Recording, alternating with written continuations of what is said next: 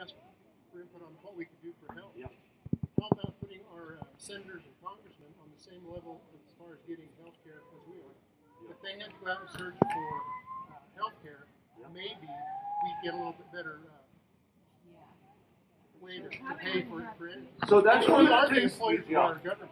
And we're letting our Yeah. employees run amok. So that's one of the things that we did. Um, and the Democrats deserve some credit for this. When they passed the Affordable Care Act, which certainly isn't perfect, they got rid of the congressional insurance plan, and they said members of Congress have to buy insurance on the exchange that we created. So I have my bronze card with Anthem. I pay for that. I make too much to get a subsidy, so I pay for it. That's I just buy my insurance. Just like that's what. So that that that's been in place now. What about ten years? Um, and that's good because now it's my health care too. And I, I want I got bronze instead of silver. Um, you know, and it's cost us about fourteen thousand a year for a family of four. Um, so and, and you know we as I said I made too much of a subsidy. So I think that was a good. Before that, members of Congress got the uh, same federal plan that other other people get.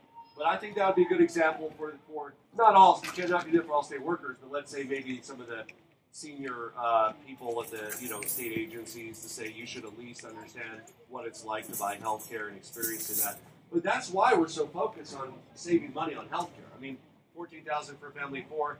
Here it would cost even more because of the pricing zone. Um, my guess is probably twenty thousand. I don't know.